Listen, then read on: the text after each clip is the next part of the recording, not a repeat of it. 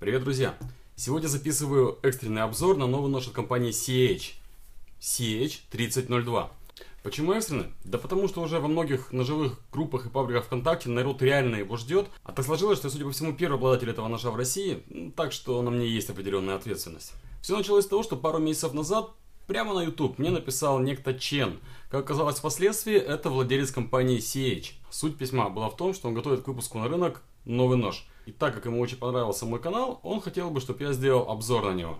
Итак, пробная партия была выпущена всего лишь в количестве 20 штук. И один нож из этой партии лежит сейчас прямо перед нами. Давайте посмотрим, чем же на этот раз удивит нас компания CH. А удивляться, друзья мои, тут есть чему. Я сразу скажу, что компания CH выпуском вот этого ножа послала далеко-далеко многих крутых брендовых производителей, ножи которых стоят десятки раз дороже. Это не очень большой, но очень стильный нож, который в первую очередь производит впечатление дорогого аксессуара, чем режущего инструмента. Я не знаю почему, и может быть это немножко странно, но мои первые ассоциации этого ножа были связаны с iPhone в цвете розовое золото. Да, это немного педералистично, но похож ведь? М? Нет? Черт. Клинок этого ножа выполнен из стали S35VM. Острый гадина, покруче, чем чилийские перцы. Режет он, ребята, просто адово. Да, кстати, если кто не видел новый логотип компании CH, то выглядит он теперь вот так вот. На обухе ножа снята небольшая фаска, и это делает дизайн более законченным. Но самое крутое, что спуски клинка и вот эта вот фаска у нас сатинированная, а вот эта вот полоска, разделяющая их, выполнена с покрытием Stonewash. Ну то есть вы понимаете, да, что люди реально заморочились. Едем дальше. Мне лично очень понравилось, как выполнена вот эта часть клинка. Это не американский танто, который сейчас суют практически во все ножи. Это не классический дроп-поинт. Да черт возьми, посмотрите, ну это же чистая японская классика. Мне лично кончик этого ножа очень сильно напомнил Кисаки Катаны.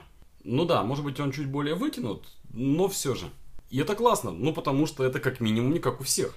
Ну и вообще вот это вот не как у всех можно применить практически ко всем составляющим этого ножа. Ну ладно, заканчивая обзор самого клинка, добавлю, что вообще весь этот нож это флиппер. Флипует он достаточно неплохо, но при этом у него нет агрессивного выброса клинка. Открывается он весьма мягко и деликатно. Опять же, это большой плюс использования этого ножа в цивилизованном обществе, ну никого не распугав при этом. У него есть насечка на плавнике флиппера, чтобы не скользил пальчик. И чуть более грубая насечка на обухе клинка. Давайте переходить к рукояти.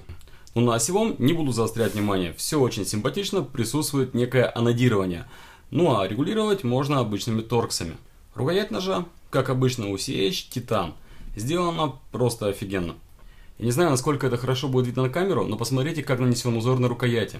Декоративные полоски на основной части рукояти нанесены не тупо прямо, а они сделаны под определенным изгибом, подчеркивая форму вот этой вот вставки.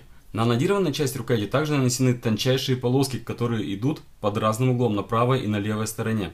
Кроме того, вот на этих, ну, назовем их ребра жесткости, также нанесена микронасечка, которую даже вживую не сразу заметишь на камеру, я думаю, вы тем более не увидите.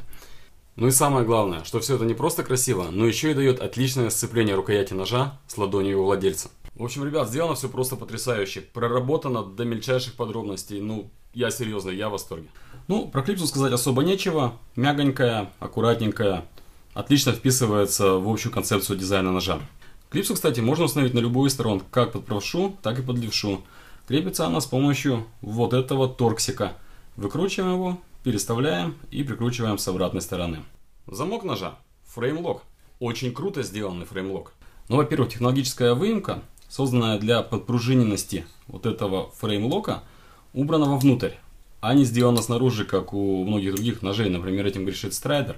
И это большая проблема, потому что когда он этой выемкой цепляет за карман при извлечении ножа, от кармана, как правило, остается мало чего целого. Во-вторых, как сделан сам фрейм. С внешней стороны щель между фреймом и рукоятью закрывает вот эта вот вставка. И в закрытом виде замок с рукоятью выглядит просто как единая целая конструкция. Да и в открытом смотрится практически так же. Очень стильно. Ну и в довершение, да, на фрейме, конечно же, присутствует сухарик. Ну и еще одной крутой фишкой является полное отсутствие бонок внутри рукояти. И отсутствие шпинька для упора него клинка в открытом положении. А вообще отвал башки. А знаете, как фиксируется клинок?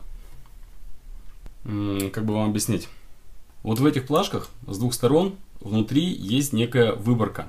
А в клинке, прямо в самом клинке, установлен шпинек, который ходит внутри этих выборок и фиксирует клин в открытом положении.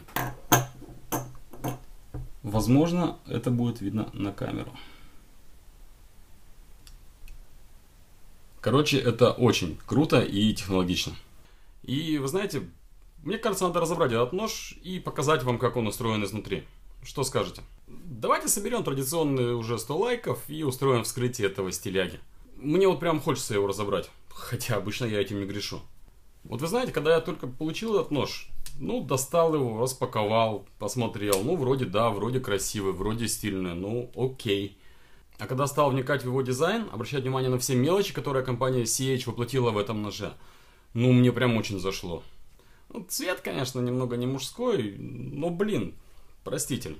Нож получился прям очень крутой. Ребята из CH, если вы смотрите этот ролик, красавчики, респект вам. Продолжайте в том же духе. Единственное, у меня к вам огромная просьба. Выпустите уже что-нибудь более брутальное. Ну, в стиле того же CH3504. С деликатными ножами у вас все супер, но хочется уже немножко какой-то жести. Ну, на этом, собственно, все. Подписывайтесь на канал, ставьте лайки, пишите комментарии. Ну и я напоминаю, собираем соточку лайков и делаем вскрытие этого красавца. Ну, напишите в комментариях, что вы думаете об этом ноже. Ну а все ссылки на него я, как всегда, оставлю в описании. Всем пока и до встречи в сети.